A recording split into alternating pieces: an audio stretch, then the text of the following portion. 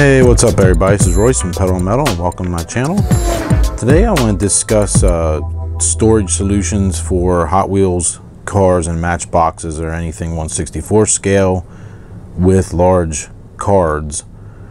Uh, I embarrassed to say this, but I, as you guys know, I've been trying to organize all my cars. I had things just in cardboard boxes, which is obviously not the way to store these. I had them like this. This box here is all my Ford cars.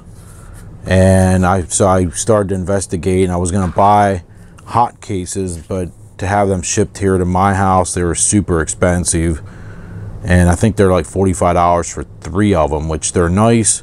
Don't get me wrong, they are really cool, but um, just not an option right now. So I found these Sterilite containers, and this is the size here. This is their um, I'll let you guys see the size right there. And they are made in US.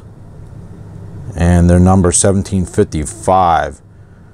And they're phasing these out, I believe, at most stores for whatever reason. Target, or I should say Walmart, wanted like $30 a piece for these.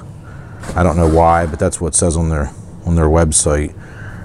But as you can see, you can fit. They have locking, dual locking handles, one on each side and they're not perfectly square in the corners but they're not as round as some containers. And the the nice thing is they they're pretty high I think uh, what are they about they're six and a half inches deep. So you can get you know you can get protecto packs in and any of these odd size ones like let's say like this car here which is a really odd card and you still have almost an inch of space left over. And they seem to be I think they're going to work out really well. Sorry I'm not really losing my train of thought here today. Let me see if I can move this. Get this out of the way. And here's here's one filled with all the Matchbox premiums I found recently that I didn't even realize that I owned. I didn't know I had a, a couple of these, other than all these. And they, excuse me, they seem to fit fine in here. Even this, these odd final run packs fit. And I had some of the Revell 164 scale, they fit.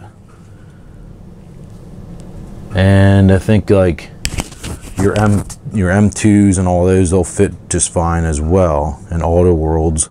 So I think uh, in uh, I think in the long run these will be this will be the better way of storing these cards instead of having them in uh, diaper boxes and file boxes, which those are okay. Don't get me wrong, file boxes are fine, but from what I understand, you really probably should store them more like this and have them upright because a lot of them that I had like you can see here the cards get twisted when they were laying in there flat from I guess from temperature change and um, whatnot. But uh, so I just thought I'd share with you guys these boxes. I think they're gonna be really really nice. And if we could if they are actually phasing them out maybe if enough people write to the company and we could say look you know can you guys make, you know, continue making these, we'll buy them. You know, there's enough people out there, I think they'll buy these, these boxes. All right, so thanks for checking it out, and hopefully this helps somebody out there that was uh, using cardboard boxes and or huge tubs like I had here, that that's just not really the proper way to do it. So thanks for checking it out, and uh, please subscribe for more diecast videos and other do-it-yourself type of videos, and happy holidays everybody. I'll see you guys soon. All right. Talk to you later. Bye now.